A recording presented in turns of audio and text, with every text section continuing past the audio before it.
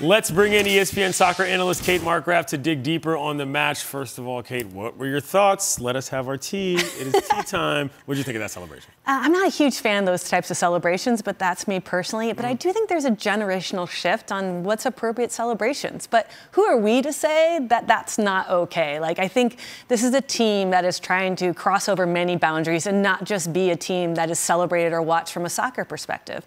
I mean, now you see Oprah, you see Ellen, you see all these people weighing in, and that's something the U.S. team has never been able to do. And I even played on the 99 team, mm-hmm. right, in Rose Bowl, the biggest TV audience in America to watch a soccer team played, whether men's a soccer game played, Right. whether men's or women's. So this team is doing something that no other team wearing a soccer jersey the United States has been able to do, which is cross boundaries. Speaking of this team, one of the most popular players on it is Megan Rapinoe. Mm. Jill Stein decided to, sh- you know, she said Jill decided to sit her, which was, you know, shocking to some people, but it turned out she had a hammy.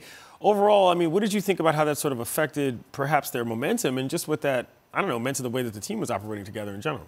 Well, I think the United States is getting a little bit more savvy in how they talk about their injuries, or in this case, not talk about their injuries. Usually on the women's side, unlike the men's side, there's a direct line of communication between the head coach and the TV crew. That obviously didn't happen because they were afraid of leaks. So very well done by Jill Ellis to not get it out that Megan Rapinoe was hurt. If Megan Rapinoe was healthy, she would have started. Speaking of which, in the net, I mean, y- you know, look, there's been so much discussion about what's happened with this team since Hope Solo left and what the goaltending, goalkeeping situation has been.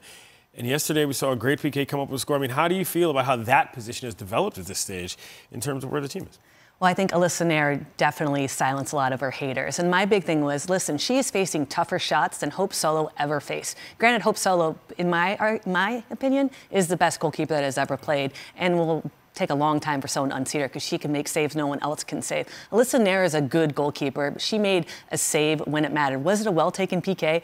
Absolutely not. It was a bad PK, but give credit to her because she stood the ground. She dove off her line in a way that the rules did not decide to like go against her and have her retake it where she earns a yellow card and all that nonsense Right. that was happening on early in the tournament but in that big moment where she needed to step up and all her detractors said she couldn't do it she did so that was just a huge confidence booster for this team because this is a back line that's not nearly as good as it was four years ago Well, the back line involves Crystal Dunn, one of my favorite players on this team, who had the shutdown tackle at the end of this match that was incredible. She's been a player that's developed in such a way in this program. I just want to get your thoughts on who she is and who she's become. Oh, Crystal Dunn. This is a player that's been asked to play out of position and play against some of the best attackers in the world. Diani against France is probably the most explosive winger that that's exists. yeah. And yeah, Crystal Dunn got beat. And she got beat a lot, but you know what she did? She recovered.